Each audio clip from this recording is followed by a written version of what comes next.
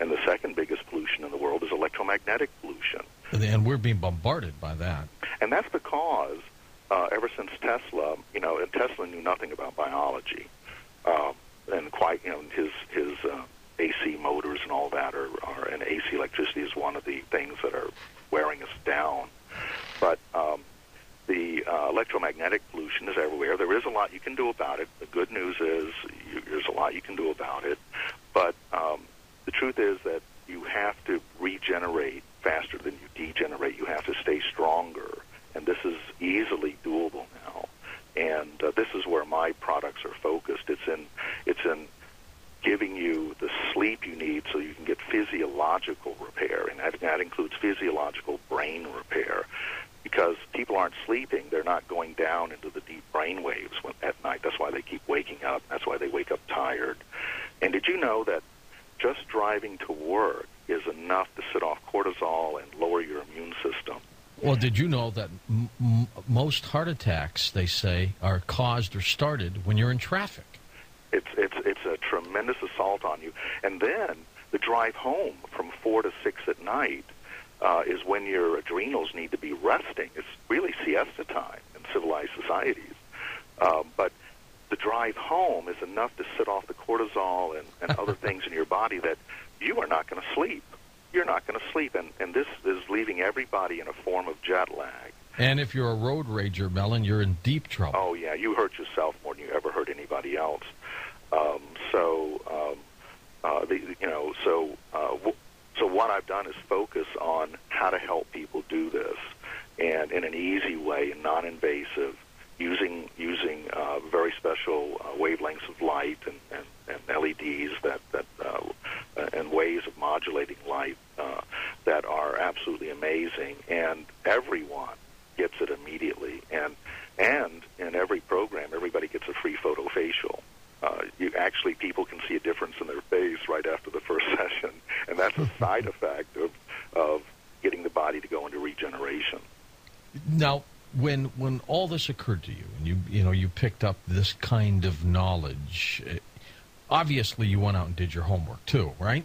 Well, you have to. You know, uh, the other side can give you ideas, but you have to do the work. You have to go do the fundraising. You you have to convince people because just having access or you know having keys to the city doesn't mean you can control anybody, and you probably have to pay for your cup of coffee too. so you know, when you're on the other side, did you ever come back with the rationale of what the heck are we doing here? What's this all about, Alfie? Oh yes, yes. That was one of the questions I asked on the other side, and it may shock people. I, I literally asked, "Okay, what's the plan?" And the light just lovingly laughed and said, "There is no plan. There never was." What? You were given this universe to make of it what you will, and you're free to do that. And so, what's really important is is not thinking what God wants you to do or what you know the universe wants you to do. Is the only meaning there is in life is the meaning you give to life. The only meaning to any God you believe in is the meaning you give to that. Hold it. This experience had a profound effect on you to the point that you have now picked up, and I don't know whether it was just knowledge or was it guidance where you've learned things about, you know, the future, earth changes, your own life, destiny for all of us. Uh, are, are you almost like on a mission? Well, I, I'm I'm on a mission of uh, health and also uh, a mission of what what is called self-initiation. We're coming into a period now where, uh, especially, you know, the example is uh, like what just happened to the economy. Uh, why are we all listening to these people? Why did we listen to them? They turned out they didn't know that much, and they were uh, and they they were they were manipulating us. And I think a lot of huge mistakes were made. So we're coming into a point now of self-initiation, and that's. Uh, if I'm on any mission, it's to create heaven on earth. Well, you're, you're, you're getting there. Now, are there other people like you out there doing the same thing? Is this almost like an army of people that have died and have come back? Well, um, uh, in one of my visits with the light, uh, I was told that the near-death experience, this is, you know, way back then, I was told that the near-death experience would become more and more popular, and it would have an effect on the entire world when a critical mass was hit, where all these people have died and come back, and are telling you that it's uh, you know there's a lot more going on than than what we think.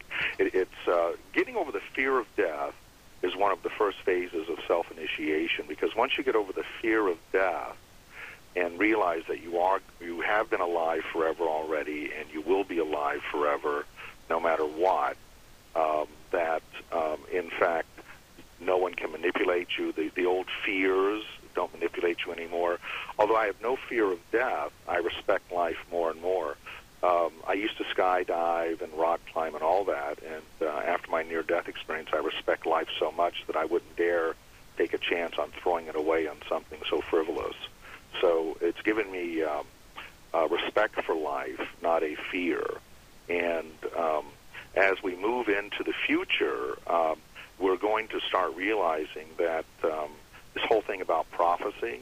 Mm-hmm. Um, um, is uh, most of I was told on the on the uh, when I'm with the light that uh, all the all the true ancient prophecies will end in our lifetime and they will be no more, and they all have to deal with the end of the world, don't they? They sure do. And we're going to get past that point of this end of the world. And in fact, you know, the end of the world has a history. People should check it out. How many times have prophets told people there was there was going to be an end of the world? Every civilization, You know what I every mean? one. and and also the, the the odd thing about prophecy is that most prophets have not ever been right. And in fact, if they get one thing right in their life, that's a that's a career. And uh, so that uh, uh, do you know who's been more accurate about predicting the future than prophets? I would say, well, this is a quiz, right? But I would say Edgar Cayce was one of them. He was interesting, but there have been people more accurate than him. And Um, uh, Nostradamus? No, not at all. Most- uh, not at all. I was shown that um, that the, the people that have been the most accurate about predicting the future have been the fantasy writers. Good point. They have been more Good accurate than anybody. And uh, like, and I was given a lesson of say Jules Verne. Remember Right. Jules Verne? Absolutely. and um, uh, in my book is called the Jules Verne's effect. And I was shown that Jules Verne's wrote about things that did not exist, technologies did not exist in his time. And all the children that read those books went out and invented those things and more. Isn't that interesting? But something happened to him, Mellen. I don't know whether he was a time traveler or a remote viewer or what, but something happened to him to allow him to have a vision of the future. Absolutely. And so uh, I was also taught about Star Trek, the Star Trek effect on the planet. Um, uh, uh, who was it? Gene Gene Roddenberry. Gene Roddenberry. uh, unbelievable the the uh, the material he pulled in, and I was shown that uh, at any given moment on planet Earth now, Star Trek is being shown somewhere, and it's Well- constantly in in consciousness. And, and I was told that everything you see on Star Trek will be manifested, and the, the children that watch this will make all of that, including the replication technologies, all of that is coming, and some of it's here now. Or absolutely. I mean, during even though Dick Tracy had that watch he talked into, Mm-hmm. uh, Star Trek also had those little handheld devices Mm-hmm. that were like cell phones. And and didn't they heal with light too? Amazingly Yep. fast. Absolutely. So, Absolutely. uh, so, uh, uh, so the thing about prophecies is that we've got to get over this end of the world stuff and get past it. I was also shown, and I and I honestly believe most biblical scholars know this, and some of them tell you the truth, is that most of the prophecies you've ever heard about, the ancient ones, already have happened. They were they were written for people in their own times and were Yes, fulfilled were. in their own times. but and- this is what concerns me about prophecy, though. In end times, hmm eventually one of them's going to get it right. Well, there is not going to be an end times, and that's that's why this is all going to end um, within the next couple of generations. We're going to actually transform. This is why the near-death experience is really big on helping us transform, and we're going to transform over the next 75 to 100 years into completely different creatures than we know now. Is it going to be gradual or? Well, it's been Right. gradual. In fact, uh, the amazing thing that I was shown is that we're technically there now. we're at a time that's never happened before in history. We're technically at a time in history where we can transcend survival en masse. We can technically clothe, comfort, feed, and educate every human on Earth right now.